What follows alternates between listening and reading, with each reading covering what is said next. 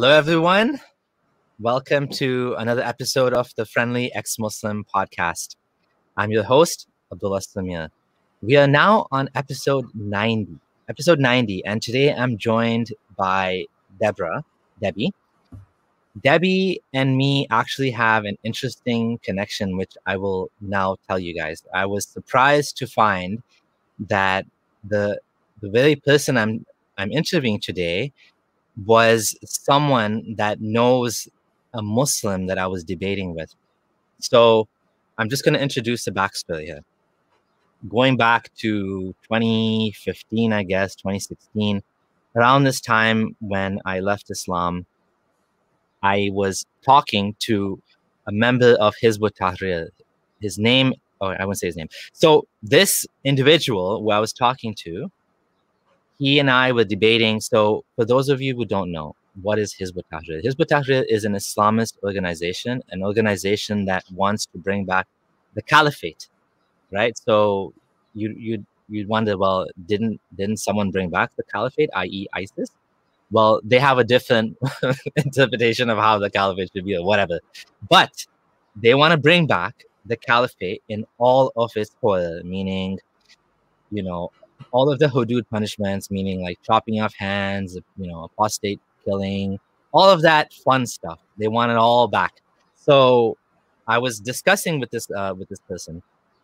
Hizb ut-Tahrir has an interesting way of doing things in that they like to debate, they like to engage, they like to attack, they like to heckle Muslim speakers at the event. So they'll show up at like Muslim events and they'll start arguing with them. Um, a lot of fun stuff. So it turns out this very person who told me that by leaving Islam, I'm going to end up homeless, destitute, you know, addicted to drugs, living on the street. The same person who said this to me, it turns out his own wife left Islam. So this is going to be a very interesting story, um, and uh, we'll try to we'll try not to get you know into too personal details. So if, if I ask you anything that's like you know not you don't want to talk about, feel free just to say I don't want to talk about that.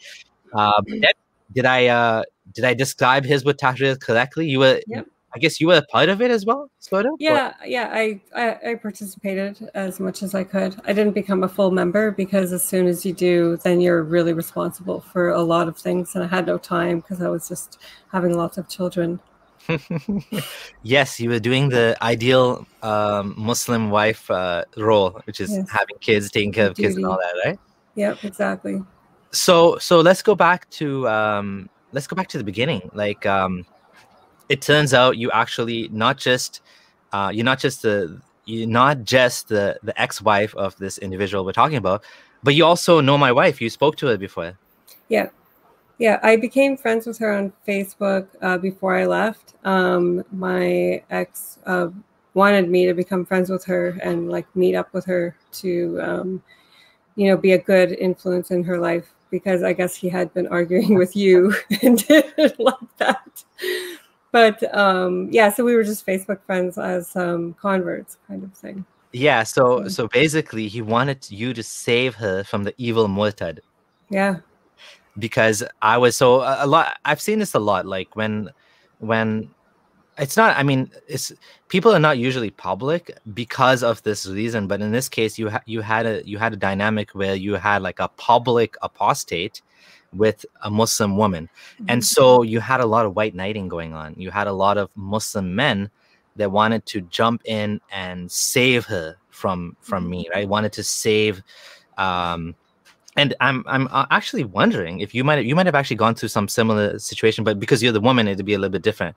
Um, in my case, she had people like Muslim women telling her to leave me because, well, obviously she's supposed to leave me because of the wall um, you can't be married to a non-Muslim. Right. But on top of that, because of the kids. So so these Muslim women who were friends of my wife were thinking, well, you should leave him because he's a bad example for the kids.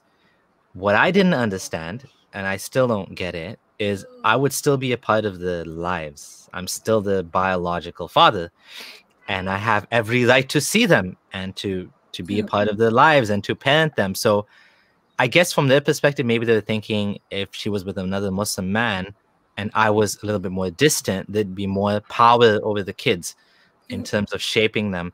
Um, I think in my case, I'm lucky because the kids were, you know, relatively young still, so still open minded. I find that when people, uh, when kids are a little bit older, you know, say in the like teens, late teens, like 17 yeah. 18 and the muslim it becomes much harder to detach from that and that's what i've heard from friends like hassan radwan and others that you know with with older kids a lot of the times when the parents or one of the parents leave islam it kids are confused but a lot of times they just remain muslim. Whereas when they're younger they're still not totally the minds are not totally made up yet. And you know that's how we are as human beings right? Like the, the reason why most people follow a religion is because their parents made them into that religion right? Yeah exactly. You grow up as as a hindu or you grow up as a christian or a muslim typically because your parents told you this is what you're going to follow. So after that you know we've obviously we obviously do that for a reason. We think this is best for our kids. So we're teaching our kids that oh yeah there's only one god or you know god is you know in all of these different manifestations or god came down as a man. We're trying to do what's best for our kids what we think is best for our kids. But at the end of the day um that you know a lot of times even if it's wrong it's very difficult to get rid of that sort of brainwashing right? Yeah yeah so in your case you were you were born at, in, into a Mennonite was it Mennonite family yep yeah, my family's Mennonite. so, so, can you my, tell us a little bit about that? My parents grew up um, uh, like Mennonite with you know horse and buggy and no electricity. They they grew up in villages in Mexico. Actually, there's like uh, a lot of colonies throughout South America and Mexico. Oh yeah. So oh, yeah. they were born there, and um, they migrated to Canada, and they raised us like in the city. So they wanted to give their kids a better life. So they came here and learned English and stuff. But the religion was still a big part of our family. So we went to church and, and learned the Bible and stuff. So would you consider yourself to have been like um, like a religious I guess Mennonite's a Christian, right? So yeah. Christian? Yep, it's very it's like Lutheran kind of thing um, they broke off. they're like the pacifists, so they don't believe in uh, joining any army or being part of any wars, like mm. under any circumstance. So they're oh, just yeah. very peaceful and want to keep to themselves, kind of thing. So, so you were, you know, living your life as, um, would you would you consider yourself to be been practicing, or was it more like, oh yeah, this is just something that um, I was um, raised in? Yeah, that kind of that, and we would just like do the holidays and go to church on Sundays sometimes. I became more religious as a teenager. I started going to church on my own and joining all kind of activities, and ended up joining an evangelical church and things uh-huh. like that. And went on to Bible college after high school and everything. Oh, you literally so, dive deep in, into yeah, the whole. Well, and that's how I ended up leaving Christianity. Is when I started learning how the Bible actually is not this magical book that formed. So wow. yeah, I, I, left Christianity after Bible college. I took a year of that, and uh, everything fell apart. Um, I I wasn't really atheist, only that I had just left the, my religion. So I, I really fully intended to learn about other religions too, but I was done with like throwing everything into Christianity. So um, that's during that search is when I met uh, my ex, who was a very very practicing Muslim at the time and working for this organization. So um, I guess the that aspect of it intrigued me. So I decided to learn about this religion that I knew nothing about. Oh, interesting. Can you say how you met? Is that? Yeah, we, I mean, we met on a dating website. So I guess um, you know muslims do it too. But he was very clear when we met in person that he's a muslim and they don't really date. So mm. you know what muslims do is they meet up and talk about marriage. I was like that, oh that is that is different because i was taught as a muslim you have to go to the parents. You don't you don't go and meet people directly because of the um the inherent risks of like you know falling for someone or something like that right? Yeah but I think there's different rules though when Muslim men go for non-Muslim women. Oh. So this is what I'm learning is that there's like different rules. Like they, you know, kind of like a lot of things go out the window when they're dealing with non-Muslim women for some mm-hmm. stupid reason. Of course, like everything's for the man in that, that religion. Yeah, yeah, yeah. Um, but yeah. so that's what got me on the path of learning about that religion and um, he was very active um, like doing his stuff is like a lot of debates with public debates and lectures at the universities where they like publicize it um, talk about the war and, and how you know the west is attacking muslims on purpose. And, you know just this kind of history that i was never taught so i was very intrigued with learning like the other side of things. So there was many things that um, really led me to it and um, i found some like fancy websites like explaining islam and all the scientific miracles and you know so i was like wow these are all these things that you know christianity didn't have that it's very clear. You know you don't have to like doubt anything. Everything's very clear. So um, yeah I, I decided to go for it and thought you know i could see where this goes. But this was like a year after i had met him. We we had met up and then we just kind of like kept in touch over like email and stuff because um, he ended up moving to another city doing his stuff anyway so but yeah we ended up getting married and I just like took off and left where I was living and um, dove right into full Islam. Like it was um, job and everything. Yeah, so we ended up just meeting at somebody's house and doing the Islamic marriage, where you just have like yeah. the witnesses, and mm-hmm. um, somebody brought a hijab and abaya for me to put on, and there was a sister there to like teach me what my, I have to do, and um, I didn't even realize that like he was part of this organization, like kind of like a Amir, like, right? Is he like no? The, he wasn't. He was just more of like he was a higher up because he had been a member for a long time. He was very active, um, but I didn't realize like that he was like he had a lot of influence, so he had to appear. Like anyway, he made it the impression that I needed to uh, look the part. So like start wearing hijab right away. Like there was no delaying in that and um, so yeah just getting involved like this and um, uh, meeting these other women and uh, got pregnant right away and um, just went all in like we're just going to do this. So yeah. and i really just started practicing with these other muslims and doing everything um, only learning Arabic and uh, Quran and memorizing Quran and Tajweed and um, all the things to, you know, learn about this religion, you know, and um,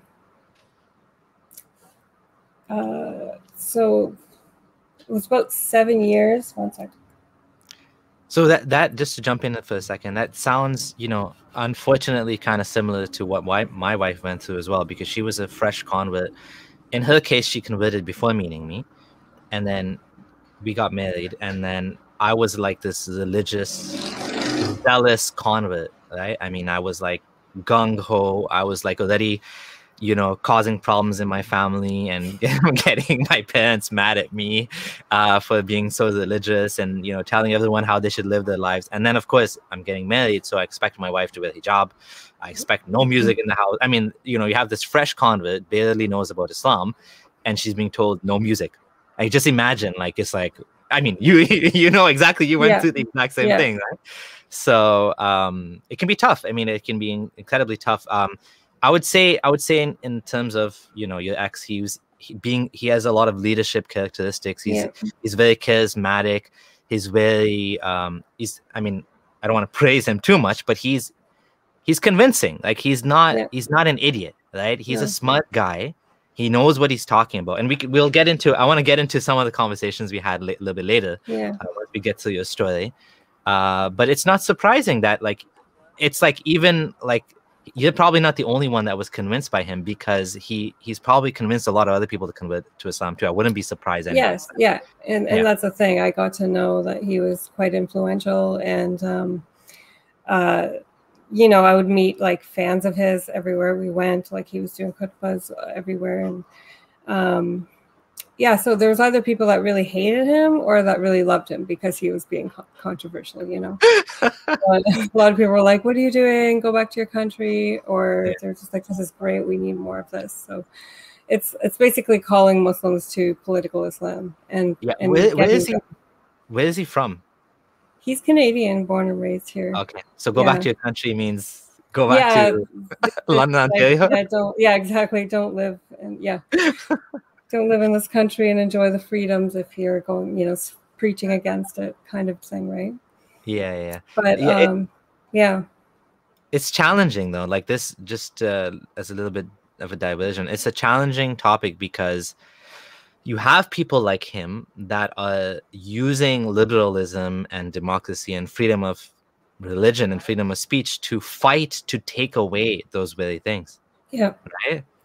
And that's the thing. Like they use that as um, the you know they're like you know we have free speech and we're using the free speech, but now when we try to use free speech to like criticize Islam, it's now we're crossing the line. So it's just uh, it's not fair the double standard that we're It's- facing. it's crazy because if we get the world that he wants, like me and you both would be executed. Yeah. But he's using, you know, they are using, and the funny thing is, I mean, Hizb ut-Tahrir is actually banned in many Muslim countries, right? Yeah, It- lots. Well, because the goal of Hizb ut-Tahrir is to overthrow a Muslim government through military coup. It's like very clear. So they just want to find um, a Muslim majority army of a fairly large country out there, and um, you know, if you turn the, all the generals, like they could take over the government and start their own little khilafah, right? So of course those countries will ban Hizb ut-Tahrir because if that's what their goal is, they're like, nope, like, and they throw them in jail as soon as they do anything. So it's it's not like it's serious business for these countries, you know. why why do you yeah. think um do you know that like do you, do you understand the world theological difference or like the what's the what do they what's the problem with ISIS? Do you know why they don't like ISIS was uh, they were considered as uh, they weren't doing it the right way. They um, they were killing too many Muslims. Like they were going on and killing Shias as apostates. They were killing like so they're like you know that that's not the right way to do it. Um, I know the Hizb went to ISIS and tried to correct them, and they were also uh, punished by ISIS. Um, I heard that they had been executed by ISIS.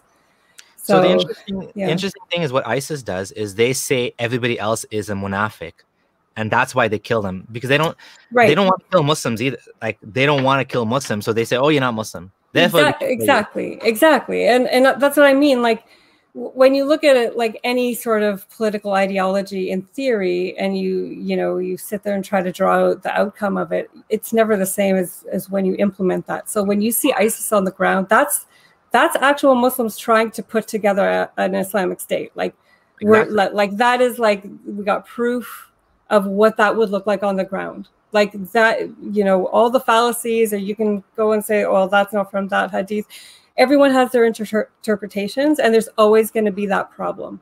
Yeah, and they were doing everything according to islam. So i like you can't tell me that that is nothing that is not islam at all. Like they were going as as deeply as they could.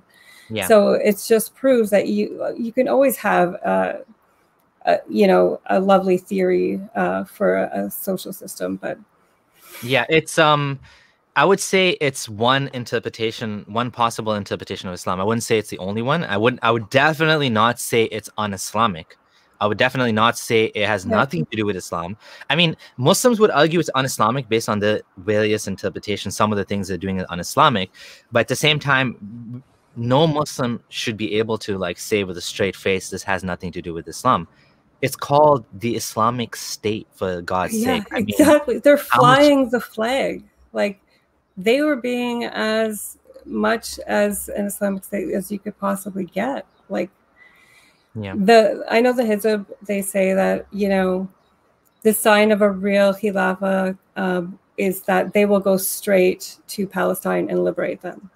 Like that will be the first thing on the agenda. So the fact that isis was not doing that that that was um, proof that they're not like a real yeah they're just like a bunch of gang thugs you know so There's a checklist of things. Um, yeah you're doing it wrong guys you're doing it wrong Uh, didn't uh, go to Palestine. Okay, didn't now they're not- they're Palestine. not but yeah I like mean, yeah. You, you, know, there's a beautiful book I read called "The The Way of Strangers" by Graeme Wood. He's an award-winning journalist. He he, he interviewed a lot of like Al Qaeda and ISIS and Taliban, and he he kind of specializes in this. And you know, he he talked about he really gets in the mind, and I think me and you would understand these jihadis better than anyone else. These people, they literally think if they join ISIS, that angels are going to come down and they're going to reestablish Muhammad's Medina in the yeah. 21st century. They they think doesn't matter that the entire world is against them. I mean, they're not thinking logically, rationally in any sense. There's just angels are going to come. Yeah. And like people that were interviewed that went to ISIS, a lot of them were disillusioned because there was no angels. I mean, things were bad, right? Like like yeah. really bad.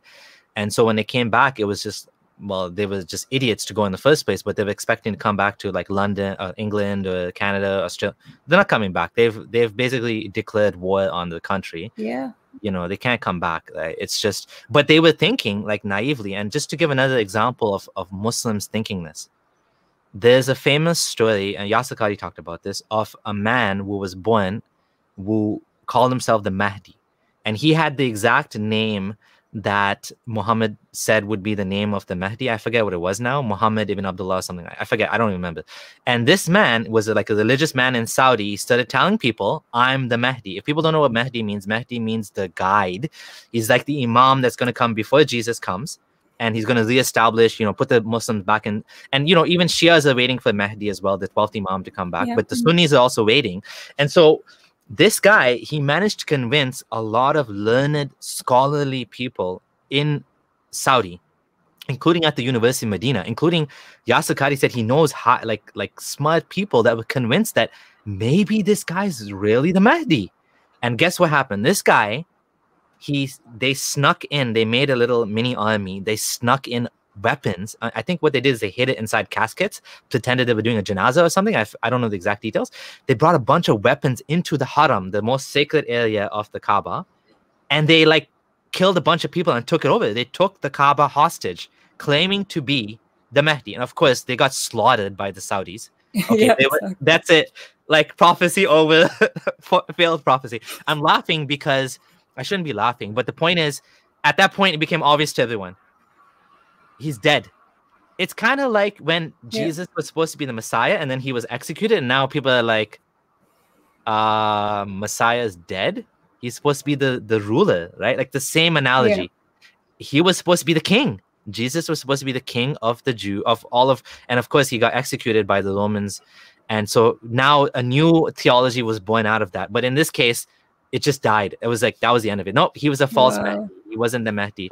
Um, but it this is what religious like thinking can do to your brain. It can infect your brain and you know short circuit all of the rationality and thinking. And and I I I I, I hate to say it, but I have sympathy for people that fell for this. But obviously, there's no going back. You've crossed the line. Like at this point, you've you're involved in like a terrorist state or whatever. You cannot come back after that. Like there's no coming back. I'm not saying like I have sympathy on them from that perspective, but I understand like what they were thinking, right? Obviously, yeah. they there's no going back from that. But but Hizb ut-Tahrir is you know in my my opinion what they're trying to do is very dangerous because what they're trying to do is make the world back into the seventh century right right they want to bring back this evil uh theocratic nasty system that would have dhimmis like kuffar and disbelievers as second class citizens mm-hmm. right and yeah and yeah. slavery would be back oh. and everything like they they would be declaring jihad on countries. They would be I don't know, like they that's their ideal world and it's that whole self-fulfilling prophecy, you know. They everybody's working towards it and they all believe the promise that Islam will rule the entire world one day. So I mean, it's just um it's not hard to convince good Muslims of it, you know, because they believe in that promise. So it, it's it is dangerous. Can we talk a little bit more about your Muslim life? So, like you said, you got married right away to this like high-ranking, let's call him high-ranking member of Hizb ut-Tahrir, um, this Islamist group. What was your life? What what what was your life like? Um, we moved uh, around quite a bit. Um, he was always doing activities um, uh, for the group. Um, there was always um, online stuff and um, events at different universities and doing khutbas and all the halakas that they hold for members to learn. There's like a bunch of books you have to learn. Um, so I was always learning these along the way as well. It was just part of my Islam. So um, it was just that, and that was always the, the top priority. Like, um, you know, if the Hizb told us to move to a certain place in order to do something, like we would have to do what they did. Uh, CSIS, the uh, Canadian Intelligence Agency, they followed us everywhere we moved. So every time we'd move, they'd knock on the door. They were like, "Why'd you move here? What are you guys doing?" So, so we knew we were always being watched. Um, it, it, it, Canada does see them as uh, an issue, you know, but um, all they can do is kind of watch, right? Yeah, because they, they technically are not breaking the laws. Right. Right. They're not actually telling people to do anything. The they're trying to do something dangerous, but it's it's sort of uh, theoretical, right? I mean, that's what they yeah. always say. Oh no, we're not saying anyone should kill apostates today. We're saying in an Islamic state. Right? Yeah, exactly. So, um, as as your life as a Muslim woman, um, you would would you say your focus was like raising your kids Islamically, teaching them Islam, um, being involved in halakas and yeah. um, learning about Islam? What like what else was it? Was is that is that what you mainly yeah. did many yeah. years? Yep, just having children, um, ha- doing all the halakas with other women, um, getting to know um, all the different women in the mosque. Uh, we homeschooled um, with our kids, so um, just teaching Islam only. Um, we planned on doing hijra, moving to the Middle East. we were told like that we should just, you know, always be ready, like to just move quickly. So, um, yeah, because, uh, you know, he knew that my family would try to stop us, obviously, from moving to the Middle East. And he wanted to, you know, continue his work. So we would probably be trying to overthrow some governments out there, which is not safe for the kids. Yeah. So I was clear, like, I was afraid for my kids as, you know, as I'm raising them and they're getting older. And, you know, so I was always, um, afraid of of taking them somewhere foreign where I'd be trapped. Really, like I wouldn't be able to just leave like I did here. Like it was so already hard Muslim, enough to leave here. But as a Muslim, you were thinking this? Um, kind of. I just knew that it was not safe. I thought I didn't think I can't leave him. I just knew yeah. that I would be a lot more trapped. Um, I would probably have to stay home all the time there, and um, and my kids just wouldn't be safe. I just, you know, they had health issues and stuff. So, oh yeah, yeah.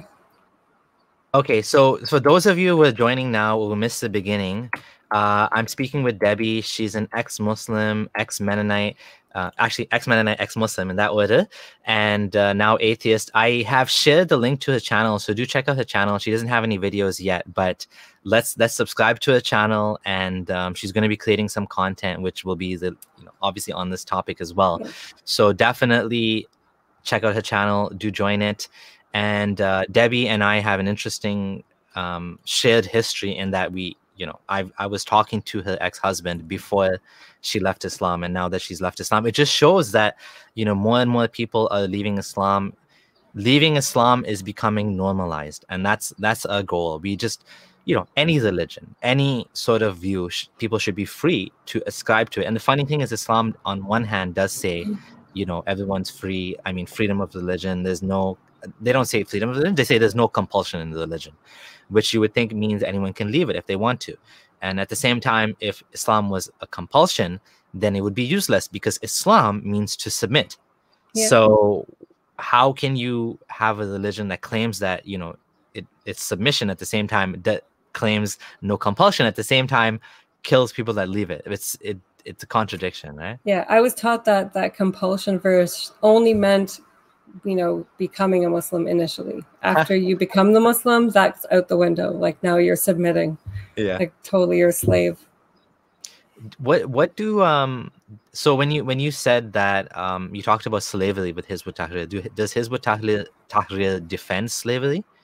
Yep, they they say that it's part of Islam, um, and it will be a just slavery. It'll be like the way they talk it up. It's like it's not what what we picture in in our human history. This is like, you know, the way Allah promised it should be, and you know. But yes, there's slavery. There's going to be concubines, and you know, if there's wars, and yes, they will take their women, and it's I mean, you know, it's a it's a thing, you know. Whatever's in Islam, they just like, yep, that will be in there. Um, just to rant a little bit more about Hizb ut-Tahrir, uh, I'll tell you a funny story that happened. I was in university. I was Muslim, so I was, I guess, Salafi leaning. Actually, I wasn't even Salafi leaning yet. I was still like, just like Muslim. I'm just Muslim, just Sunni Muslim, gen- generic Sunni Muslim and I was still trying to figure out whether Sufi, Salafi, Hizb whatever, like you know, Islamist. I shouldn't say Hizb but like Islamist. I had Islamist friends trying to convince me about Islamic Brotherhood, and so one of my friends gave me a book of Sayyid Qutb, you know, to read, um, which is very similar, let's say, to Hizb Tahrir. The oh, same. Oh, I, we had those books. that was I read those ones. I think it's in the shade of the Quran, right? Something yep. like that. Yep. Yeah. So people people don't know Sayyid Qutb is an Egyptian that wanted to bring back uh, Islamic law. He attempted and, it, yeah, overthrowing yeah. the Egyptian government. Oh yeah, yeah. Um, so so they believe so so there's definitely like uh, a tension among Muslims between people like like let's call them Islamists and I don't know what to call the other guys, non-Islamists. So the the people that are like more Sufi leaning, they follow madhabs, they tend to like watch like Hamza Yusuf and stuff like that. Those guys clash with Hizbis. So yeah. at my university, there was one time where we had Munir Al Qasim. You might know him; he's from London as well. Yep, yep. And he he came to the university. I don't even remember what he was talking about. And Hizb ut-Tahrir guys came and they started shouting at him. Oh yeah. And that's what they do. They, they, they, they show up at even Muslim speakers and they, they yeah. heckle them. And you're a fake Muslim. And I remember one of my friends was told by another Hizb member, you're not a proper Muslim. He was so mad. He was so pissed because they were having a debate about Palestine. And of course, my friend supported Palestine. I don't even know what he said that caused him to be labeled a kafir or munafiq or something. But like, that's the type of, this is the type of people we're dealing with. These people yeah. are like so antagonistic. Mm-hmm. And so there was a new, let's call him Hizbi convert. He was a he was a non-practicing Muslim that became Hizb ut-Tahrir member or like ascribed to the teachings, right? And I was responsible for finding someone to do the khutbah, and I I made the mistake of letting him do the khutbah, even though he was like fresh convert, whatever. Like not convert, but like he was Muslim his whole life, but he wasn't practicing, and now he became religious. His khutbah was on why slavery is halal. and wow. it caused such a big fight because the other Muslims started shouting at him after the khutbah, saying, How dare you say this? Slavery is haram. And the other guy is like, No, slavery is not haram. Allah never made slavery haram, right? Exactly. It's like it's like this tension is there, right? And and so you have speakers like Hamza Yusuf would come and they wouldn't necessarily call out Hizb ut-Tahrir, but they'd say like things like these, you know, you have these Muslims that are putting the cart before the horse. They want to reestablish, you know, Islamic politically, but they don't pray Fajr or something like that. So, did you hear about any of this like Fajr thing?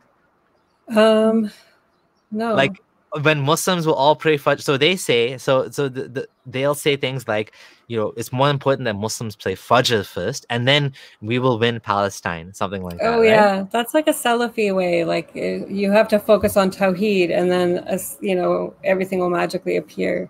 Yeah, yeah, and then yeah. and then the the Hizbis and the the Islamists will say, no, no, no, because. Islam was strong because we had the caliphate, and therefore the non-Muslims had to respect the Muslims because if they didn't, you know they'll send the armies and this and that right?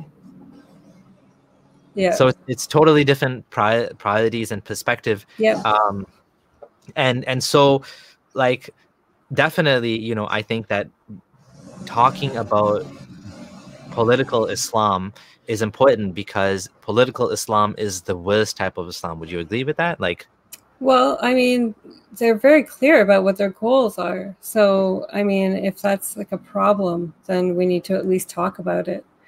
And, um, you know whether or not it's inciting violence right now it's um, it appeals to those types of people and um, when the end goal is you know to, you know world domination then we should you know take a look at it i mean how how do they end up with such such goals? Like where is this coming from islam? Or is this something they added on to islam? Like why, why are they why do they want like world domination? Let's call that. Well it's because it's in quran because that's what allah said that uh, islam will reach all ends of the earth. So they're just like fulfilling you know their duties. So it's everything is quran and hadith based. That's why like after I left the marriage and I was looking back on everything, I'm like, I I didn't just leave the marriage, I left the religion because everything in there was Islamic. So I'm like, so everything I did leaving was like away from Islam. So I couldn't I couldn't uh, stay a Muslim even after leaving. Like I couldn't even so um, and because you know my ex is so vocal uh, about his views um, i just i feel compelled to also do it do this and um, explain what it's like. Because i mean when you see the world the way they do i mean it's it's scary. I mean when 9-11 happened and i found out like that these guys are just willing to just die like that easily for their beliefs. Like that's that's scary, you know. And the way Islam is set up, and especially the way the Hizb is set up, um, they're very. Um, they teach you how to think in a certain way. Like they go through a process, and it's very cult-like. Like they teach you how to think, how to process anything um, how to teach other people. Uh, I mean, everything that you learn from them, you, you can't even take notes. Like you have to just you retain it and, and regurgitate it right back all the time. And um, it's uh, you start seeing the world in, in a different way, and, and it will make good, good uh, meaning, well-meaning people do bad things, and um, that's a problem and we need to be able to address that. Yeah.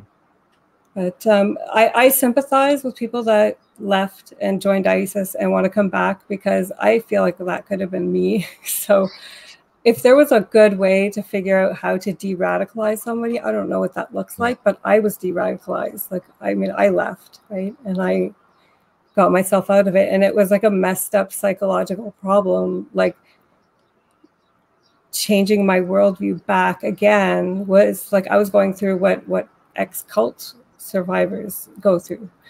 And so, you were Muslim for 12 years, right? You said 12 yeah. years? Yeah. That's a long time.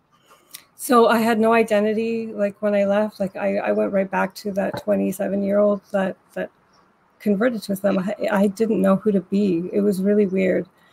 Um, and so it's when you think uh, like the way Islam is set up, like in an ideal situation, like you are chanting in Arabic all day long.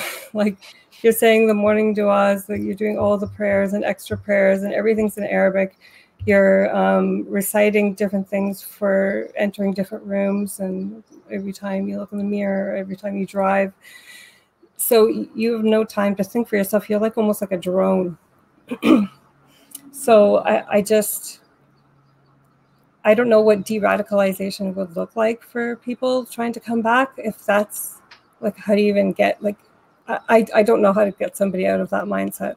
It's yeah. just we can't take away any the things needed for when people do want to get out of it, and that's what's dangerous in in Muslim countries, especially like if there's so many ex-Muslims in Muslim countries, and they have to fake it because it's so dangerous, and um, that it shouldn't be a danger to to not want to you know go along with everybody. Yep. Shouldn't yeah. Yeah absolutely. Um i i agree with everything you said that it's you know it is i do think there are people who have joined you know isis or whatever that realize it's wrong but i just don't i don't know how we would ever bring them back into society because they've now you know they've joined this terrorist group so it becomes very difficult right? Um but yeah i do sympathize in the sense that like yeah it could have been me too. We i could have ended up joining some group like that going overseas. Yeah. this this whole concept of hijra yeah. it, com- it comes down to us versus them thinking doesn't yeah. it yeah and that's what you get caught up in. Um it's it's really weird. Like there, there's the Muslims and the non-Muslims. So there's the Muslim, like believers and non-believers, and it's repeated in the Quran so much. what happens to believers and non-believers?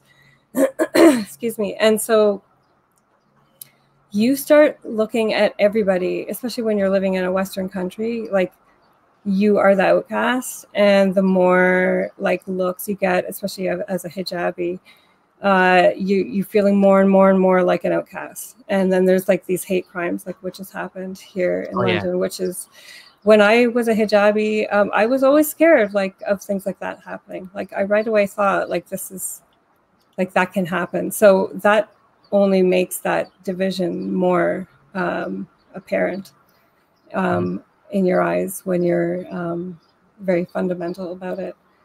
But um, I mean, we need to be able to address like what, like what would drive somebody to want to do that to somebody is just um, so horrific to be able to just kill somebody like that.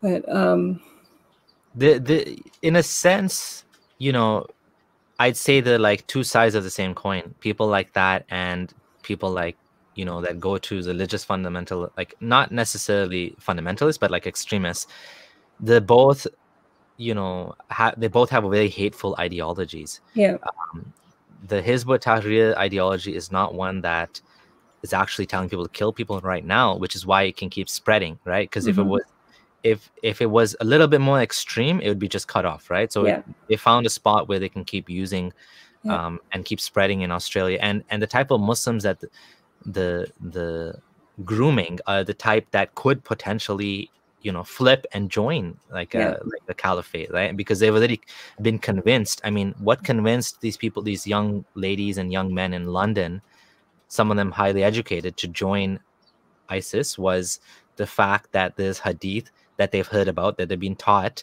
about black flags yeah. you know coming from syria yeah and um, i don't know what else but there's a bunch of signs or whatever, right? And obviously ISIS heard the signs too. Yeah. Exactly. they read the same book. So they're like black flag. Yeah, look. Yeah. And did you ever hear or were you ever taught that if someone calls for um, if there's a caliphate formed and you don't join, you will die the death of a ignorant of yeah. a child? Yeah. That's why we were always on edge, like that we might have to move one day. But um, they were very much aware of uh, everything that uh, ISIS was doing to make sure, like, if they would be, if the Hizb deemed them the right one, we would have had to drop everything. Can, can you tell us about that? Like, what what was that teaching about the what I just said? Can you elaborate on that a bit? Um, yeah. So right, yeah. If if there's a, a, a legitimate, like according to them, uh, a legitimate Islamic state, uh, you know, a, a Khalifa has been appointed um, we have to move and support it. Like it's very clear that, yeah, if we die uh, away from it, then we will die as a non-Muslim. So it was very like we we're just like you, you know, be ready to just move within a week, one day. So we are we were always like watching um, international news uh, about what's happening geopolitically everywhere all the time, and the Hizb analyzes all of it. So we're always aware of like what's happening, especially when the Arab Spring happened. We're like, okay, is this happening? Like there might be a khilafah pop up, especially when Syria was like a, you know, because of the hadith, it says it will arise out of El Sham, which is Syria. And um, so we were just that that was our ultimate goal. Um, our, you know, and and he, you know, said we should be praying to die as shaheeds every day. Like that's our should be our goal. That's it's so scary to say that like you know you should be praying every day to die a martyr. I mean and then if you are or if you're scared of that you have to feel guilty because that that's the goal of all the best muslims right? So now i if i if i didn't want something that's the best thing for you i was like feeling guilty and like a bad muslim you know Yeah. So yeah, whenever I showed like any sort of concern about bringing the kids over overseas, like I would be called just negative and pessimistic, and I'm not trusting Allah. Yeah. So, like spiritual abuse is, is a really a, a problem with um, Muslims, with this type of uh, household. I believe um, you're just kept in line through the religion. You know. Can you can you elaborate on that? Like spiritual abuse. By that, what what you mean is using the religion to control like control the family. Yeah, mean? I I think you know like you have to obey your husband. You have to serve him and do it. Um, uh, you know, without complaining and always making uh, him uh, look better than he is, like mm-hmm. to make him seem better, like that kind of thing. Like with my life, like constantly just you know speaking up about him and and making him look so much better than he is. And especially to my family it was i had to lie to them because after seven years he got a second wife and i oh, was oh, wow. close to the second wife. And i spoke to my parents uh, almost every day and i had to lie about the whole thing. So she was just my friend. We had all this story and none of it made sense half the time but like we just i had to lie all the time and it was really wore me down to like but it's the us versus them like they're kafirs so you know we can lie to them and be deceitful as long as we're true to our muslim family which is a whole wow. different thing going on. It's just um yeah the cognitive dissonance uh is is also like you're just doing it with a smile because you have to uh, regardless if you're falling apart inside you know? And if and if you do fall apart like you're now being a bad Muslim, you know, because you're not thankful. So I don't I don't I mean I've heard of um men who get second wives, but I haven't like heard the stories from a woman's perspective. So what was that like? So after seven years, so you were you were married for seven years and then he decided yeah. to get a second wife. Yeah, he told me from the beginning though that he would want more than one wife. So I, I knew it was probably gonna happen.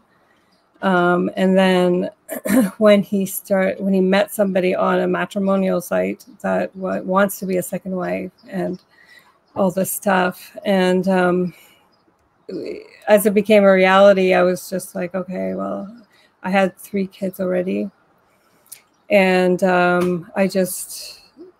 I, I, just stayed busy. Um, I was devastated uh, initially because we weren't having like a bad marriage where we didn't get along, and that's why he was doing it. He was doing it to just be more pious and, and do more sunnahs. Oh, and yeah, sure, yeah, uh, well, right.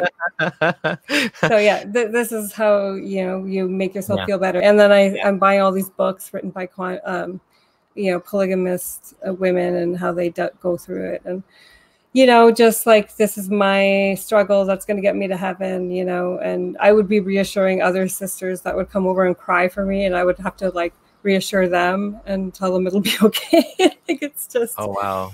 Yeah, it was crazy. I lost a lot of friends and I gained like the more extreme friends. And when this happened, um, I got to know how many people actually do polygamy because people don't talk about it. But once you are in it, then you're like, holy cow, like it's it's big. Like there's a lot of Muslims do this.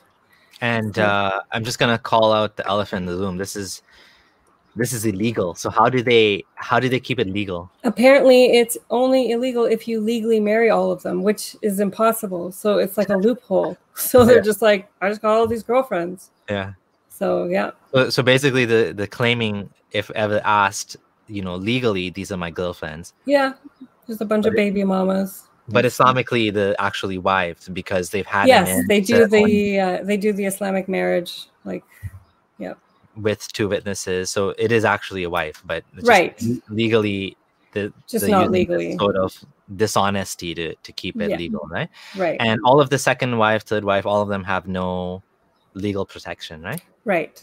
In your case, did you do the legal like you you legally got married no, as well? No, no, we didn't legally get married either. So he so didn't just, didn't want to register the marriage.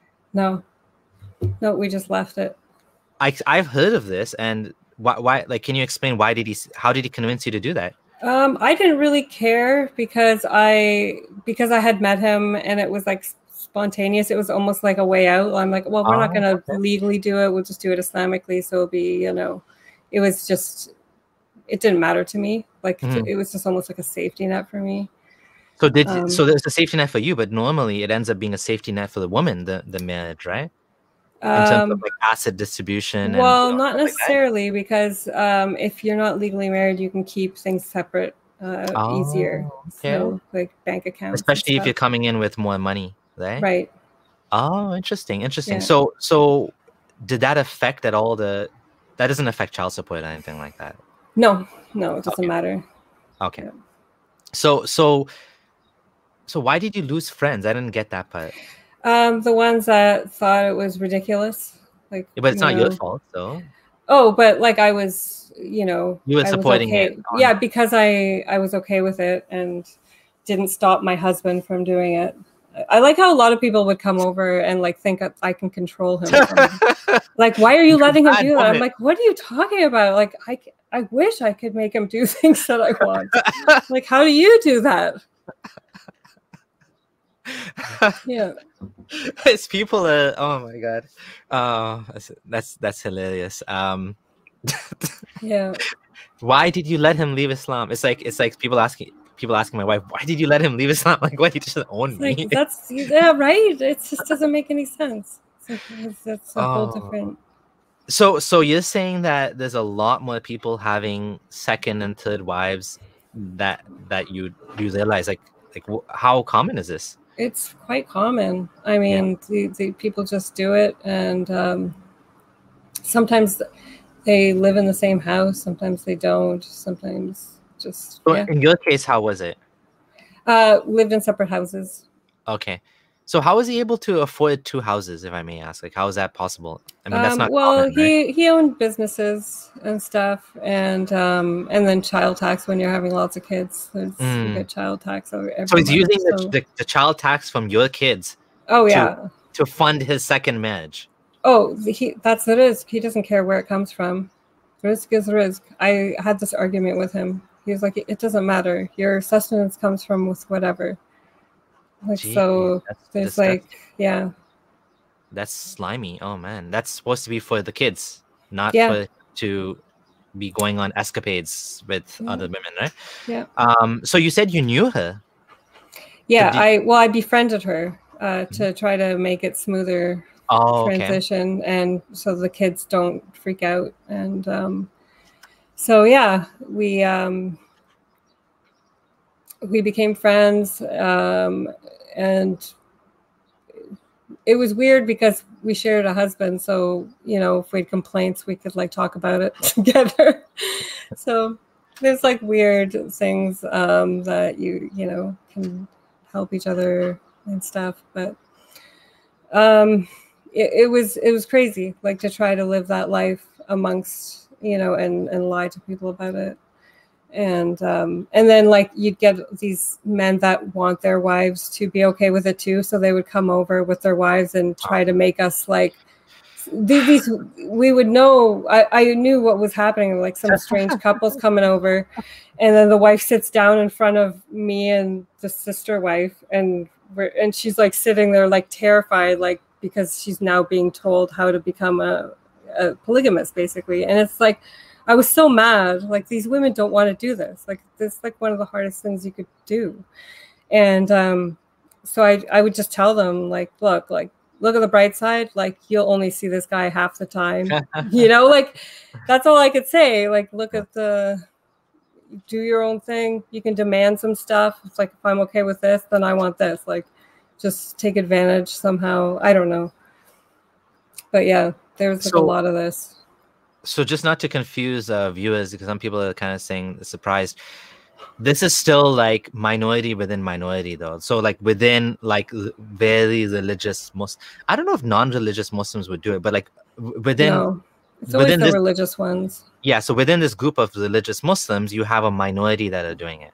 Like in me personally i knew one guy who told me he wanted to get a second wife and i knew the imam did it but even in, in my circle i didn't actually know anyone who did it or at least they didn't tell me. And i was Yeah. like i was in the circle like i was i was one of them. So i wasn't like they would have no reason to hide it from me i would say. Um but i think you're right that when you actually do it then you know the people that are also doing it kind of be, will you know the, it becomes a little mini mini um like subculture yeah. inside the culture that oh these you know these we're all together in this right? Yeah. Yeah emotionally though like uh, uh, you know i would say if you look at history there there were a lot of polygamous marriages but it doesn't make it any easier. And No. like from, from a from an evolutionary perspective from a woman's perspective or a man's perspective let's look both ways. From a man's perspective you wouldn't want your woman to be with another man because if she gets pregnant then you're you're raising someone else's offspring. And not that that's a problem per se but if that happened evolutionarily evolutionarily my genes would have been cut off so that means if i if i didn't mind my raising other people's kids i wouldn't have kids that would succeed evolutionarily right Yeah. meaning the cuckold problem is you know men have evolved to want exclusive access to the woman because they don't want to raise someone else's kids because if they did then they wouldn't they wouldn't exist because my parents would have you know their line would have ended. So it, it, it that that that tendency gets passed on. From a woman's Mhm. perspective she wants her man to invest all of his resources i'm saying historically into the marriage into the offspring because if if he goes and has other children with other women then there's just that much less resources for the family for your family right? So Mhm. it makes sense that a woman would not want her her man to have another woman. It just makes perfect sense right like i'm just saying like from an evolutionary perspective but emotionally we're all hardwired to like it's it's it's it's a very difficult thing to to accept right Yeah, it is.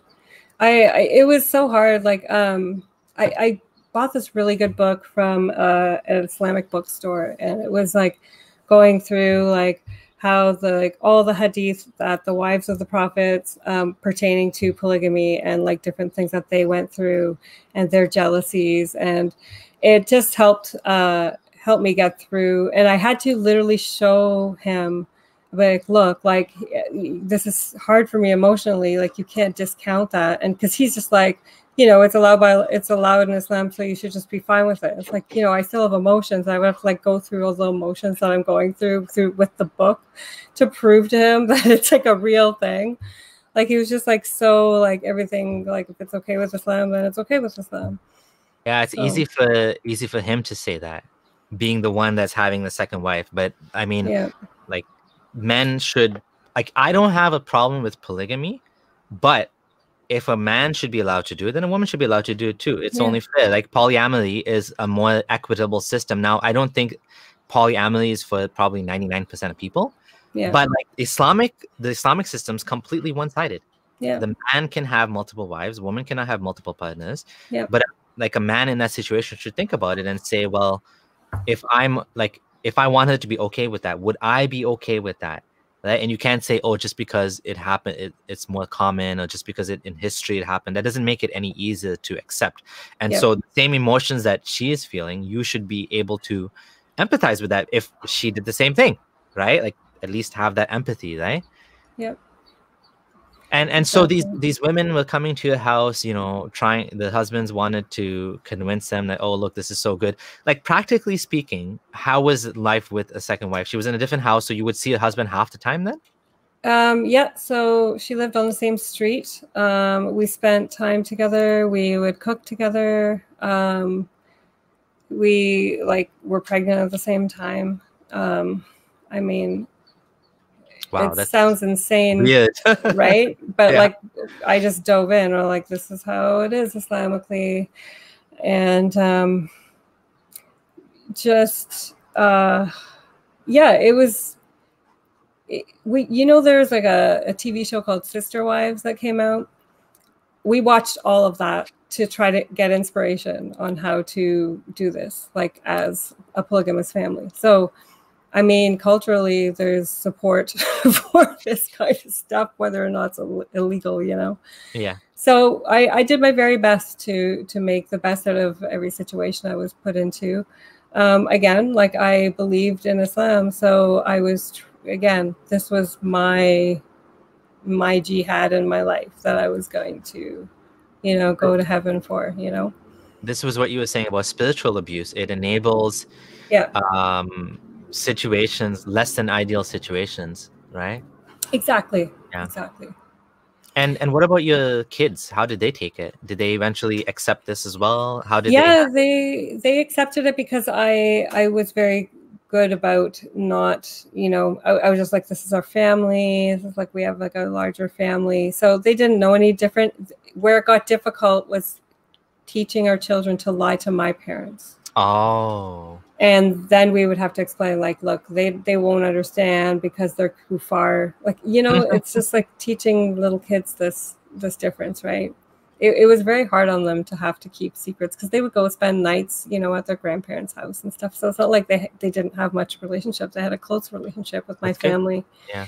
So that's one thing I'm so thankful for. My parents did not disown me amongst all this. And I stress that to anybody who's worried about a family member uh, joining Islam is don't cut them out. Try to keep them close so that if they need to get out, they you're welcoming to that.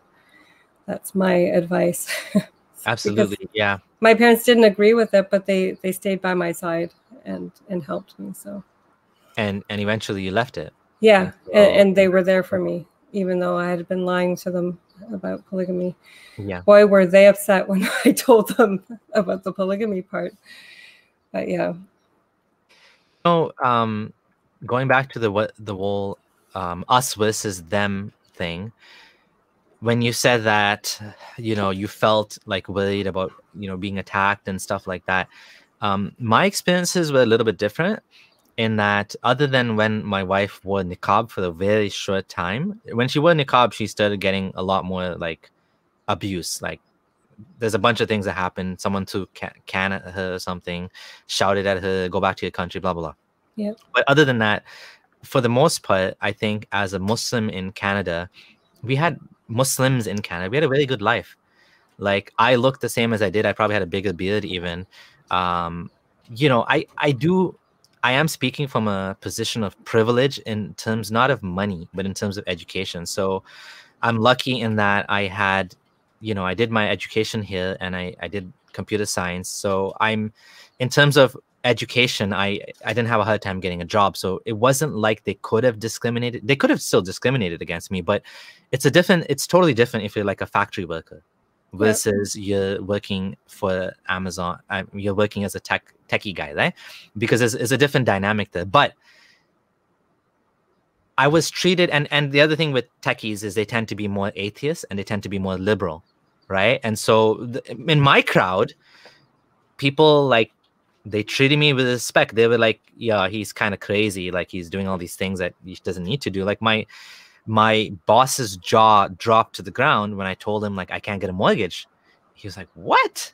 Like how does that even make sense? Like what does that have to do with religion?" Like he didn't even get it, right? And then I told him like I'm willing I- when I said I'm I would do this, I would rather rent my whole life rather than like upset God or something like that. He was like blown away. Like he couldn't believe it, right? Like he was just like, I can't believe you're saying this. Like this doesn't make any sense. And um, you know, these these guys had a good influence on me eventually. Ultimately, the the respect, the kindness, and you know, they questioned me sometimes. We had conversations. I was very open about religion. I'm like, yeah, ask me anything. Let's talk about it. And eventually, little tiny doubts you know little tiny things managed to like click in my head which ultimately let you know open the stage for more and more doubts and more and more open questioning and being able to mm-hmm. see that this this fa- this is a facade right like the canopy of islam which was th- thick is like a jungle a little bit of light was getting in just a little bit of light right? Little small doubts. Um, one of the first things that actually got in for me was one of my friends um it looks like we lost debbie. Um while while she, while she, i'm waiting for her to reconnect i will just uh keep going on about my story. One second. Uh da, da, da. um so yeah I'm just waiting i just messaged her to come back what happened with me was one of my friends an atheist friend actually sent me a study and the study said that people that prayed for no no i sent him the study saying that look at this study this amazing study when you pray for the people, they get they get healed faster. So in my mind, as a Muslim, that made perfect sense. When you pray for someone, they of course they'll get better because that's what prayer does, right? And um, I'm like, when I sent it to him, he looked into it. Turns out it was like a practical joke or something. One, it was the the study was not was made as like a kind of joke or something. It wasn't even a real study, and it turns out the actual opposite is true. Like the Harvard prayer study shows that people that pray, it makes no difference to the the healing rate. And in fact, some people actually it took them longer to get better, maybe because they felt anxious or something that someone's praying for me. I need to get better. Um, someone is asking. I'm just going to go to the questions. Uh, can you please make a video about meditation? I can't meditate properly. I failed. I would recommend that you get the the the Waking Up app by Sam Harris, um, or even look up any guided meditation on YouTube. Some of the guided meditation videos on YouTube I find kind of dumb. They're like, um, oh, you're back. I'm just Hi, sorry. I think my internet failed. Oh no worries. I'm just answering a question on meditation. Um, okay. I was gonna say some of the meditation apps, uh, sorry, videos are dumb. They have music, ooh, and they're like they don't even know what they're doing. I, I really like Sam Harris and the way he does it. Um, very straightforward. Focus on breathing. If you if a thought comes to your mind, that's fine. That's okay. Don't worry about it. Um, and just just just be aware that a thought came to your mind. Just get back to your meditation. So back to to Debbie. Um, I was just saying that you know like befriending people is the best thing to do being respectful i actually felt as a muslim that life in Canada was good. I felt I appreciated secularism because I felt like I'm allowed to practice my religion. I'm allowed yeah. to pray at the office. Of course, as a, when I was in high school, I didn't have the same respect. Um, I remember working at Walmart, and they tried to they tried to fire me when I asked them for time to pray. They're like, "What do you mean you need time to pray?" Like, I should have just gone ahead and prayed on my own instead of like making like asking for it like formally or whatever. But but the point is, they didn't like it. Right? It was like, you know, Interesting. Um, but but yeah, I never felt discriminated. I felt like as a as a Muslim, I'm a valuable member of society. That society cares about my contribution, and that that Canada is better with Muslims. And and my I didn't have this us versus them as much as. But Hizb ut-Tahrir they tell people don't vote, right? Like yeah. don't involved in politics. Yeah, no involvement with government or politics. Like so, you don't join the police force or any army or government agency because now you're working for kufr laws you know so and voting is like very sinful so. And uh, also um not only that you can't donate blood right? Like i remember the weirdest thing.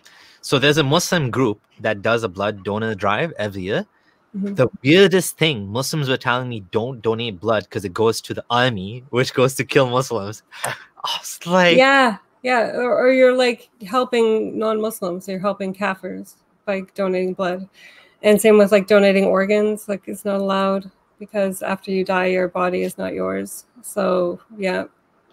I had a really tough time with that one. That so talking about I want to talk about cognitive dissonance. That was that was like major cognitive dissonance for me. I was like, that makes no sense. Because it saves I'm lives. Dead. Yeah. And I'm dead. I'm dead and it saves lives. Yeah. How can you tell me not to donate? I, I could not imagine when my Muslim family member, my cousin, told me you can't donate your organs. I was like dumbfounded. I'm like, there's yeah. no way. I'm like, you're wrong. I'm gonna look it up. And I looked it up and it was like basically what you said. There's people that say you cannot donate your organs. That to me did not click. And I think I think in that case, I actually ignored it and I still signed the the donor cut. I even told my family members, yeah, donate my own. There's no way God, in my mind, this is when I took my own rationality over the religion. And I'm like, there's no way Allah would punish me for helping someone with my organs after I die. Right? Like, I know. That doesn't make any sense. That that's like ultimate stupidity. That's like level of like Mormon, like cannot take blood transfusions. Yeah. That's like that's like you know that level of stupidity. Like okay someone's gonna die if you don't give them blood and you're telling me your religion says not to give like get out of here. Get out of here exactly. yep. You have to obey it doesn't matter. Um is there any other examples of cognitive dissonance that like you face i know sometimes it's hard to think on the spot of things that happened that like caused you but like what were some of the things you like challenged him with? Like that you know my wife used to ask me things too and i'd be like yeah islam says this and you kind of gloss over the stupidity of it but like was there things like that you can think of? Um yeah. Um yeah exactly. Exactly we're helping the wrong people. Um i mean I, I remember trying to go to a woman who uh, she would teach um, like halaqas for women, and I the marriage like for me was was difficult at that time, and I wanted to go to talk to somebody about it, and like so as soon as I started saying something to her, she she like stopped me and she like made me recite Quran, and she was like, "That's the solution." like Shaitan wants to come between every married couple, and you must seek refuge from Shaitan, and this is what you have to do. And it's just like, okay, so everything just like went right back to re- reciting and doing that kind of thing. So there was a lot of that, like like real life problems having to be answered by magic. Um, that was just, you know, it's really difficult was this lady qualified in any way for counseling or anything? Like, no, she was just like this religious mentor. okay. I have yeah. had the exact same issue. I have I was having some issues. I went to talk to a friend and I realized how completely and utterly useless it was to talk to this religious individual because the only thing he could come up with was the the prophet did this and yeah the companions did this and it was so useless. It's like i already know all that. I already tried all that. None of that works. It's more complicated. Real life is yeah. more complicated than your damn 1400 year old books and these like you know rudimentary examples that were like preserved over 1400 years. It's it's more complicated than yeah. that. Life is more difficult than just the prophet did this and she said do this. And like it's it's so it's like talking to a child trying to get a child to help you with your problems because they're not able to think real world. They're not able to understand complex relationship dynamics and stuff like that. Yeah. um you know and and what what ultimately caused you know the the marriage problems would you say? Was it was it the religious things or was it just personal? Um it was uh, i guess for me i i had uh things were just getting really bad for me uh, personally because I wasn't getting any sleep anymore. Um, I had four kids, one with severe autism who didn't sleep at night. So then dealing with him and then um, dealing with the second wife and her kids too. So we like we were just always back and forth, um, running around doing stuff. Um, he was just busy with his his stuff all the time you know, he would just come and go as he pleases. Um, it, it was just, I was getting really depressed, and I told him that, like, I feel like there's something wrong, and he wouldn't really say much about it. Um, so he took her on a trip for five weeks uh, to look for a country to move to. So they went to a whole bunch of Muslim countries together, and I was left with all the kids babysitting them all for five both, weeks. Yeah. Both her kids and your kids. Yeah. And that ultimately did it for me. Like I, I, and I would go to like friends, like sisters for help, and they were like, "You're so stupid for letting him do this." I'm like, I tried to stop them from doing this, like that. I'm not in any shape to do this, and they didn't care. They were just like, they just did it. So I just got in shit for allowing it, and so I, I like walked into an emerge uh, at the hospital, like saying like I'm at my wits end, I don't know what to do, you know, like it, it, was just like me grasping for help. I, I didn't. It wasn't me just like trying to leave the religion. It was me trying to get help, and I was not getting it. And um, I just decided to end the marriage or tell him that I want like leave me alone for like several months so I can figure things out because this is not working.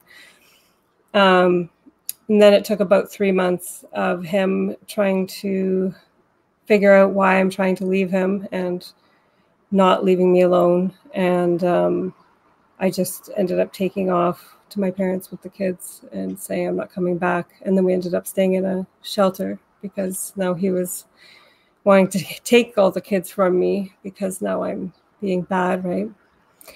And um, yeah, so it was uh, just like a whirlwind trying to get out of it, the, the marriage, like get away from just trying to to get away from it. like it wasn't even and then just like working through it and the trauma of it and figuring out like this religion basically killed me.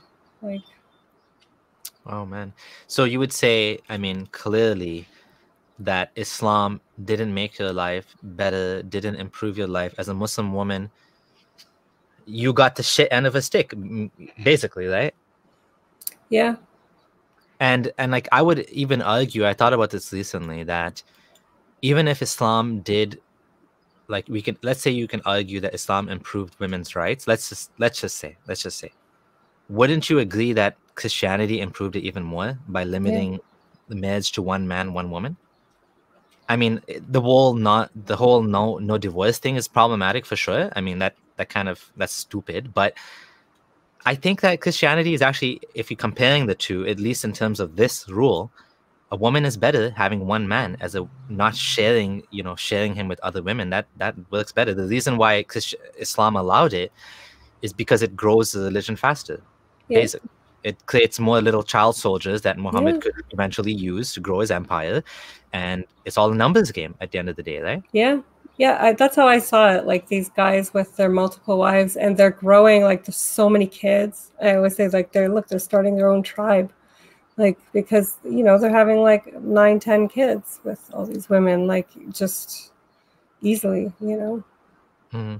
Yeah. So so that's. I mean, this is what I'm trying to shout from the the tops of this you know buildings that islam is not good it's not good for women it's not good for anybody and you know it it obviously hearing it from your your perspective just makes it all the more real to hear from a Muslim ex-Muslim woman, a woman that actually went through this.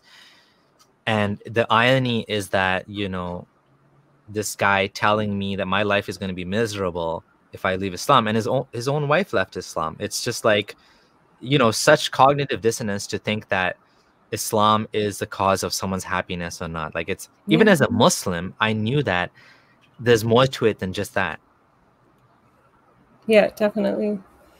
You're just stuck, like, especially as a woman, like, you know, you have to obey your husband, whether, you know, you like it or not. That's your first duty, mm-hmm. as long as it's not telling you to leave Islam or do something un Islamic. But if it's within Islam, you have to. So, um, again, like, um, I think a lot of these ISIS wives were obeying their husbands and um, doing their duty. I don't know. That's such yeah, a complicated yeah. situation, but yeah. I just see myself in them so much that I really have this like soft spot for them that that maybe they're they're really trying to get away from it. But again, like it took me so long, and I was just so thankful that I'm in a country where I'm free to leave a, an ideology if I want to. So yeah, yeah. I, I, do think uh, access to information and access to information is important because um, a lot of these countries they they try to block off access to to Islam and I don't want to say anti-Islamic website, but anything that basically questions Islam. I know my blog, my little blog. Like, who am I? you know what I mean? Like, they block my blog, and it's like, I'm a nobody. Like I'm just some guy in Canada that's just talking about my experiences. I'm just a guy talking about my experiences. I'm yeah. not a researcher. I'm not some big shot that goes on TV or anything. I'm just some guy that's just talking about why I didn't think Islam makes sense. And the, they yeah. actually like the fact that they blocked my blog in like Abu Dhabi or so I think Emirates blocked me, Pakistan blocked me. It's it's just like how fragile is your worldview that you have yeah. to block little blogs from Canada. You know what I mean? It's just like it's a joke. It's it's yeah. such a joke. Um, and and you know when when I was engaging with um, this guy, they they come across very um, confidently that you know we'll debate anyone, we'll talk to anyone, we'll you know and but but the points they come up with they're so weak like for example um, one of the points this fellow brought up to me was okay well if you well first of all he said oh you're another um what did he say? You're another uh, i forgot. Anyways they come up the points they come up with uh so oh he said you're another Maajid Nawaz. That's what he said. Oh you're just like Maajid Nawaz. I know you people like you. Anyways so the points they come up with like like even Hamza Yusuf, Hamza Yusuf's not Islamist, but like Hamza Yusuf and like even you know your ex, the points were so they're so weak. They're like, well, if evolution is true, then how did the human eye evolve? Even Darwin didn't know about that. Um, well, in the 150 years since Darwin said that, we Yeah. figured it, we figured Yeah. it out. I know. We're not in the 1900s or whatever. Yeah, and we're not revering Darwin as the be all and end all of science. Like we progress like constantly. Yeah, exactly. It's not like science didn't end when he discovered evolution. That's it's just they they don't get it. Yeah. Yeah. and then and then uh so that was like like a, like a very easy point and i i told him like and you know he was sending me this like one hour videos of him giving khutbahs and somehow that was supposed to convince me. I'm like i'm gonna listen to you talk for one hour. Just just like make it quick. Get to the point. But i did and it wa- there wasn't anything of substance there. It's like i think oh yeah. So here's here's what he would do. So when i would say something for example you know well allah has comes down to the lowest heaven every night. Like, doesn't that does that make sense to you? I said Allah's coming down to the lowest heaven. Like Allah moves. He's like, no, no, no, no, no. I, you know, they take the Ashari view that Allah, like you don't take it literally, so uh, it's unfalsifiable. So basically, Allah coming down, it's just Allah's getting close to you in His metaphysical way that He's closer to answering your prayers. But Yeah. but the problem still, this problem still exists that if Muhammad didn't know about time zones, which he didn't, because obviously fasting is like 20 hours in Norway and it's like, you know, 12 hours in or like eight hours in Mexico or something. yeah. He didn't know about time zones. We know he didn't know about time zones. So you're you're retro, you know, you're, you're basically fixing the fixing the problem by in, reinterpreting a different way. But it's still possible that this is just a mistake, that he didn't realize there's different time zones because on a flat earth, there's no time zones Yeah. the sun comes down and the sun goes up and it's nighttime for everybody at the same time. So Allah coming down could actually make sense because there's no inconsistency of him being down and up at different times. The problem is in a round globe, he has to stay down because it's always nighttime. Nighttime moves, right? Yeah. So that's like a logical problem in, in Islam. But if you if you take the Ashari point of view, then you don't have to worry about that, right? It's unfalsifiable. And so then I would point out things like this and I would say, well, Islam se- the Quran seems to have scientific problems. And he's like, yeah, but Islam is not meant to to teach us teach science. I'm like, okay, fair. But then it's still it's propagating those problems. He's like, yeah, but Islam wasn't meant to correct people's scientific inaccuracies. So so Islam, the Quran wasn't meant to not only wasn't meant to teach science, but it also further propagated those issues by by using the same flawed language of Yeah. like holding up the sky with pillars that you can't see of you know the sky being solid you know that doesn't have any flaws in it. Yeah. exactly. of, like, like all of these things seem to be wrong. Yeah but it just only seems to be wrong but allah didn't want to it's like it's like okay so allah is talking like a flawed seventh century individual. Yes. Yeah. but but he knows better. Yes. And this is this is this is convincing to you. Yes. Okay. I'm not yeah. convinced You just take it. yeah like mountains as pegs as beaches saying. Like it none of this, it and it, it's so artificially um it's so weak. Like the the the argument's so weak but they still use it because some people just don't look into the details some people don't don't dig into the details so they're like yeah mountains is pegs it sounds good. But like when you look into it like you said the scientific miracles it all falls apart all of it and i think some people they want to have the cake and eat it too they they want to use the scientific claims but also say that's not that's not the only meaning Yeah. so like it's kind of like, well, make up your mind. Okay, if there's no scientific claims, then I'm with you on that. There's no scientific claims. But then why do you believe it? Like what's what convinces you, eh? Yeah, exactly. That's like um, the that stupid challenge in the Quran saying that write something like it, and um, the, they'll just like deny anybody that actually tries and does it. They're just like, nope, that's not right. Nope, that's not like. So like they can just say no to everything. and that's exactly it when i actually was debating him and i i brought up examples like like uh for example the surah fa qaf hmm they're like no no no that doesn't count okay well Yeah, they just not? say no. Like it's it's written by someone that knows arabic that studied arabic Yeah. to a high level to university level. I know the individual.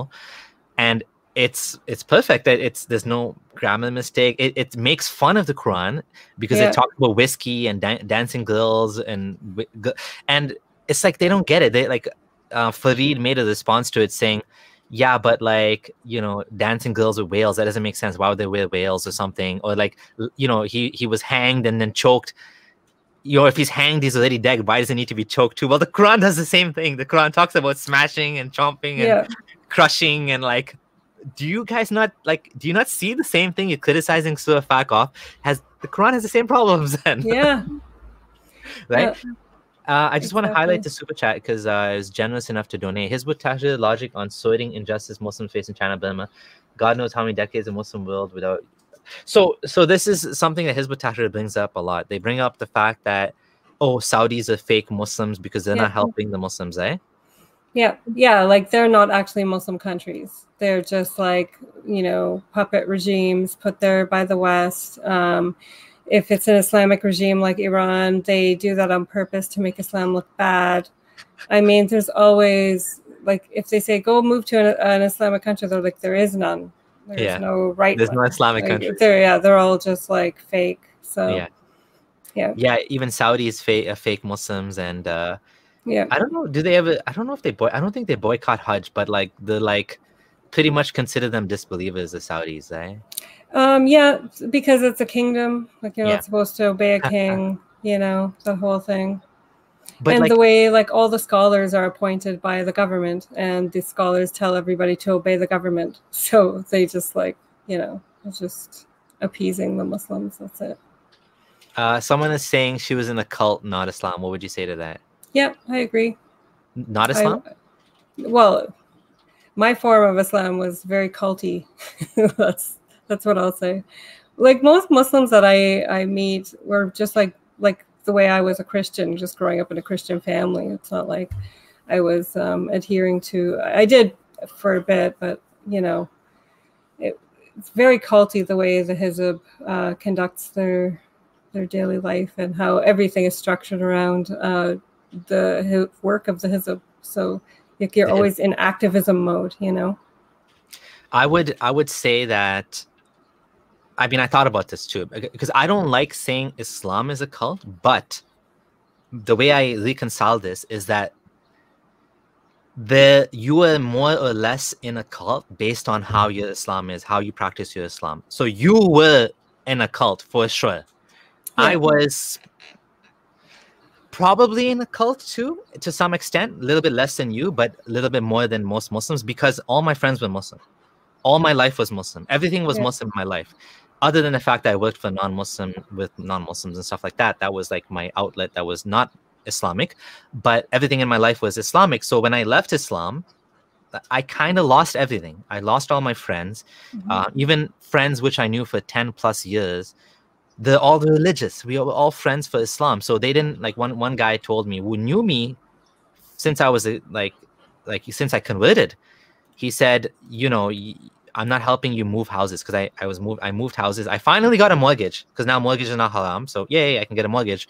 You know, the only thing the only thing stopping me wasn't financial. It was I just couldn't do it because of of dogma. So when the dogma is gone, I'm gonna live my life now, right? So I got a house Yeah. for my family, and he's like, yeah, I can't help you move. I'm like, why?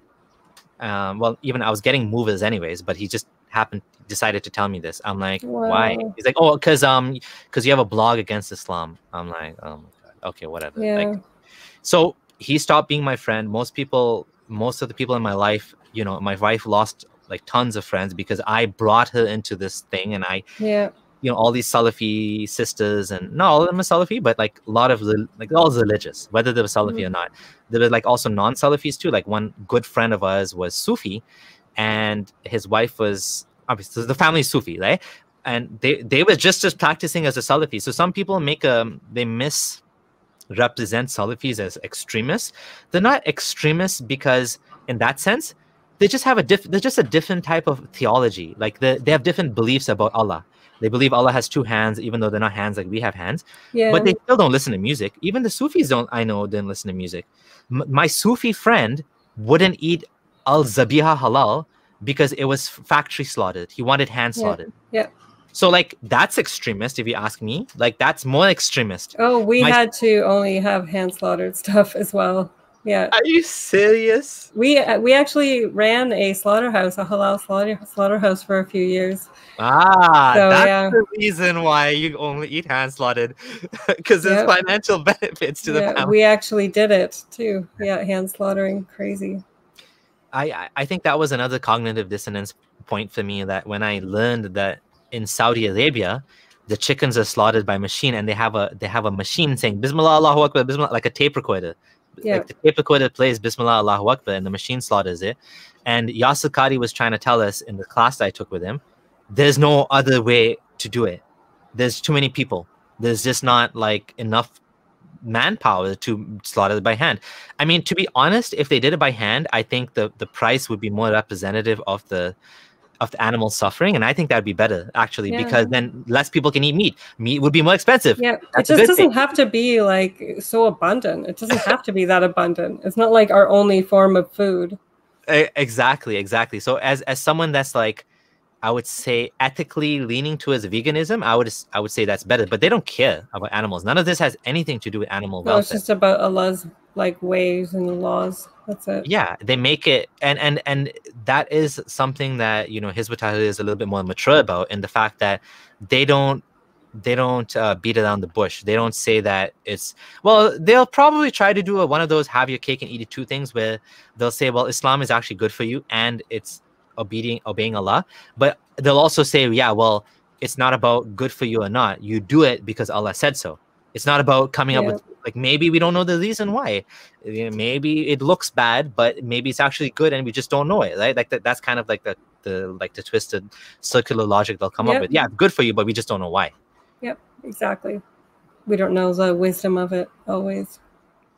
So um yeah that cognitive dissonance for sure when i found out that the machine slaughtering thing i'm like well machines are but you know uh, muhammad al-sharif said yeah what did he say machines are muslim Oh, the machine is muslim yeah, that's what he of said course. Allah, Allah, Allah controls the machines or something. I don't know. Like, it, it obviously like when you start looking into the details, that's when things start falling apart. When things st- stop making sense. When you realize that, like, okay, there's a if you go to Saudi, any Muslim country, there's a machine slaughtering. Well, what's wrong with machine slaughter then?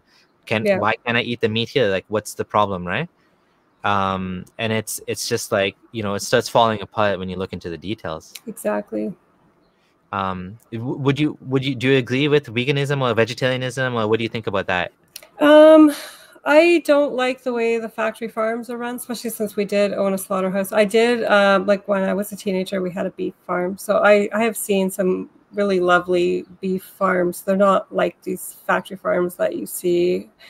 Um, but uh, I I prefer like you know go to a farmer and get get meat if you want something like ethically slaughtered because most farmers that raise animals like they treat their animals well. Like it's not like a like a factory like Yeah. so um yeah if you're worried about the ethics then i i don't i don't think you have to quit meat. I don't think that's a necessity but i think we don't need it in the abundance that we have it right now. I think that's completely unnecessary. It's uh yeah it's completely unsustainable too because Right. the like of there's no need for us to have a freezer full of food unless Yeah. maybe we we slaughtered something we hunted and it's supposed to last us a year that's the only time we should have like yeah well in, stockpiles in my case with seven people in the family we definitely have a freezer full of food otherwise i'll be shopping every day but, but in terms of like life. yeah in terms of eating meat every day i would agree with you that like i still eat meat but yeah it's it's definitely good to have less and i, I do think that if we went back to like what you said like buying from a farm obviously it'd be more expensive but then probably we'd eat less right? And so that would be better. Um the the the the price of cheap meat is basically animal suffering. That's Yeah. and on top of it like though if the whole world wanted to eat as much meat as we do it wouldn't it wouldn't work. Like people like the countries that are growing now rapidly like china brazil you know india if they were eating as much meat as we did, it, like it would be completely unsustainable because there's just not enough grain, there's not enough water. There's like we are living like way past our like our needs, and and it's completely us- unsustainable. So yeah, I definitely agree with you on that.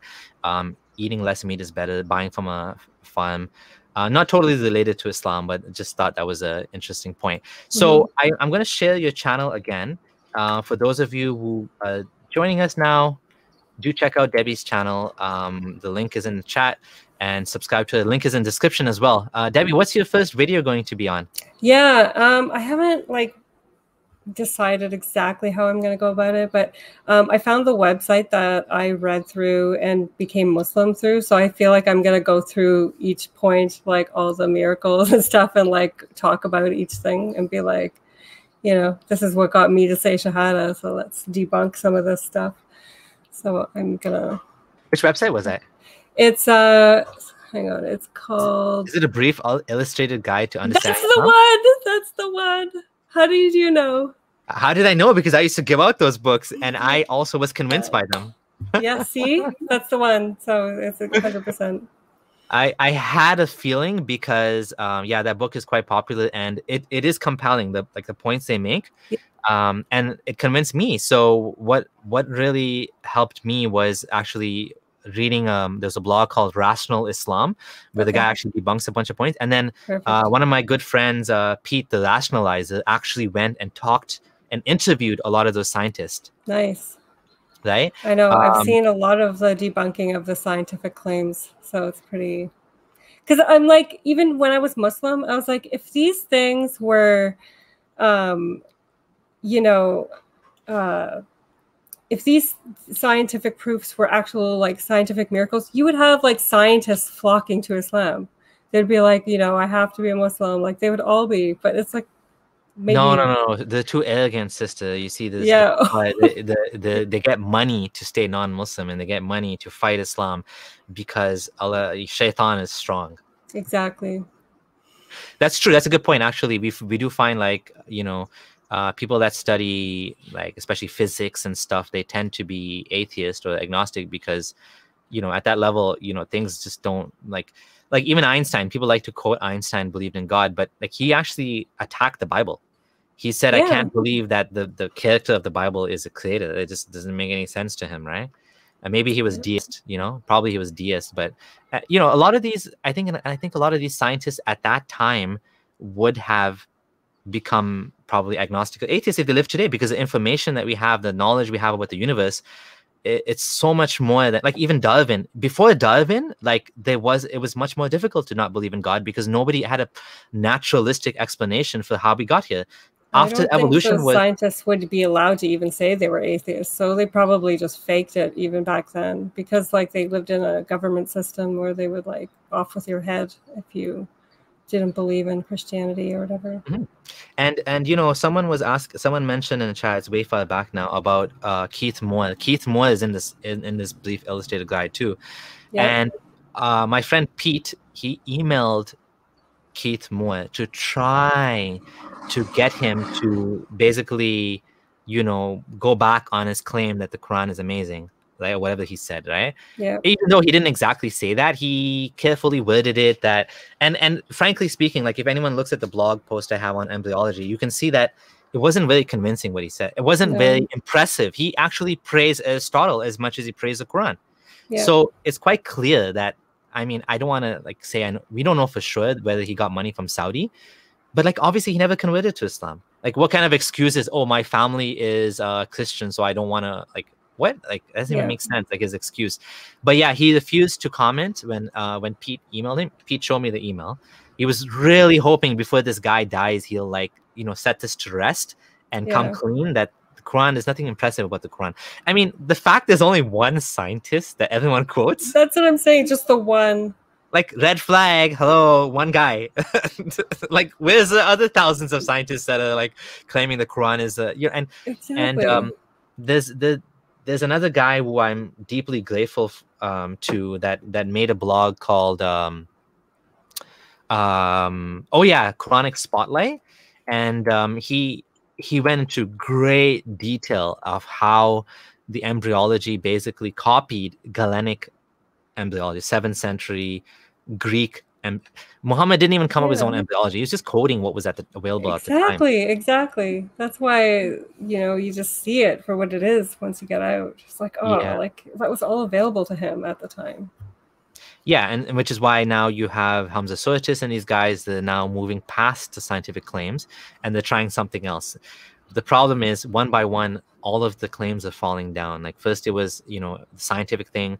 Now it's like the preservation is falling yeah. apart. The preservation claim is falling apart. The Arabic claim is just weak in itself because nobody can really confirm it. So what they have to say is the only people the what I was told was, okay, well, you can't understand Arabic but the people back then could, and they thought it was a miracle. So you should think it's a miracle too. Exactly. It's like what? But yeah. that doesn't even make sense because people today can see the mistakes in the Quran. Like yeah. Arabic speakers can see, even even academics can see, can see the signs of copy paste errors. They can see the signs where the the even even like Hassan Radwan has beautifully shown how even uh, Muslim theologians like like tafsir in the tafsir, they're like they're puzzled by the the the the language. It doesn't seem to make proper sense, right? Like some of the sentences in the Quran are, are malformed. Yeah. So the, the the Muslims have to come up with a way of making it make sense by like even they're like this is weird. That's not how you talk in Arabic, right? And it's so not. yeah, so when Muslim and Muslims have that issue, then and then you have you know the Sana'a manuscript that you can see like with the ultraviolet radiation, the the the the pretext that was wiped out, and you can see that it changed. The text changed and yep. this was not this was like probably a companion codex it's it was a a, a folio that you know common people couldn't afford this this was like the copy found in the in the mosque of Sana'a, and you know so like more and more evidence i think is coming up and you know for me it was alexander the great the syriac romance how it was like point for point exactly the same as this made up story yeah. that that made me lose a lot of faith and question a lot of things i just think that you know um, piece by piece is falling apart. And I'm, you know, I'm so happy to see that you were able to leave Islam. How long has it been for you now? Um, it's been like, I've been, I got out of the marriage. Oh, it's almost four years now. It's 2017. And, um, yeah. And then, yeah, I guess three years that I left Islam. oh, nice. A while. Yeah. I just didn't even let myself think about it for, for a while. But it's it's it's crazy like it's a whole different like diluted way of viewing the world like it's you have a whole different outlook on everything. So it's just it's really like a cult in that way. Like you're seeing things that aren't aren't there. Absolutely. Do you want to do you want to add any final words or any advice to maybe other women were in a similar situation as you were in? Or anyone in general any, any final words you'd like to add? Um, I don't know. I just um, I appreciate everybody's support. I think the more people that come out and speak out, the better. Um, I I see it growing um, so quickly, even just over the past year that I've been um, dealing with ex-Muslims and these kind of things. So I think, you know, if I had been aware of an ex-Muslim movement back um, before I converted to Islam, I, I don't know if I would have dove in the way I did. So I think it's important for us to to just be um, very vocal if it's safe. And I feel like we, like us living in a safe country, like we kind of owe it to the people who are aren't able to. Um, that I, I, can't imagine living in, in a Muslim country and just having to fake it and, and not believe any of it. It must be agonizing. So um, yeah, I feel for you guys, and um, I think we should just speak out for their sake as well. Wonderful, well said. Um, so again, those of you who are new here, uh, please do subscribe to the channel, thumbs up the video, share the video with others as well, um, so that more people can see it. I am trying my best to get back into things and be more active. Um, obviously, life is you know crazy with kids and work and everything so activism is is a challenge to keep it going but and i want to say thank you to all of, of my supporters members of the channel those were supporting me financially especially money is never easy to come about so for those of you who are donating and continue to support me, thank you so much. Thank you to the admins um, who are here today, John Stopman. You're the best. Keep it up. Uh, thanks for keeping the chat clean. And um, you know, we want Muslims to be able to come and listen and engage without you know hateful, dirty comments. And that's that's I think the type of community that I'm trying to grow. And uh, Debbie, appreciate you you know telling us about this. I know it's difficult for sure to talk about.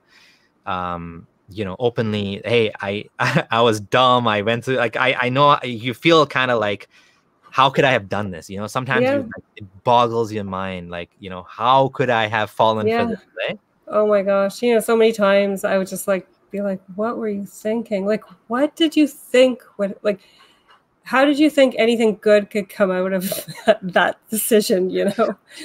But uh and people randomly be like what were you thinking? I'm like i know. I'm like i'm working that out. Like i'm writing a book now and it's like really therapeutic for me to kind of go through and write out the different stages of like basically my indoctrination right so it's it's actually therapeutic for me to do that so it's like nice. i'm writing for myself as much as anybody else when when do you think the book will be ready? Oh, I'm hoping by next year I can have things published. So just uh, awesome. Uh, yeah. Um, so when you when you do get to that point, um, you should come back on the channel and we can talk about the book. It'd be good uh, good way to get it out, get the word out, yeah, and uh, and uh, definitely appreciate the what you know sharing your story, especially some of the more you know personal difficult details to talk about being a se- being a first wife and a second wife relationship. That's that's tough to talk about. And um, you know it's important that people know that this is quite possible as a muslim woman that you could end up in a situation like this and you know the spiritual abuse will be used against you yep. you will be told this is the islamic way just like you know mormons are actually Mormons I don't think do I don't know if Mormons do polygamy anymore, but you know the cults out there that or the, the religious groups that still do polygamy, they use yeah. Religious indoctrination to try to convince the women that oh this is good for you, God loves you, and this and that, yeah. and um, it's it's the same story, right? Like men using religion to control women, and um, so definitely appreciate that. That was tough to talk about. Um, and yeah, for those of you who uh, who are just joining, again, it's over, but do check out the stream's going to be live later. It'll be on Spotify and all of your podcast um, platforms as well. Do check out Debbie's channel, and she's also on Twitter. So those are the two places you can find her. And uh, once again, thank you, everyone, and uh, we'll thank you. Speak, speak to you soon. Uh, bye for now.